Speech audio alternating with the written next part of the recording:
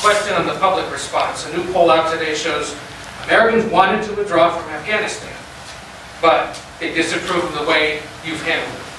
Poll also found that based in part on what's transpired in the last week, the majority of Americans, forgive me, I'm just the messenger, no longer consider you to be competent, focused, or effective in the job.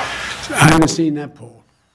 It's out there, um, from CBS this morning. Um, What would you say to those Americans who no longer Look, I had a basic decision to make. I either withdraw America from a 20-year war that, depending on whose analysis you accept, cost us $150 million a day for 20 years or $300 million a day for 20 years.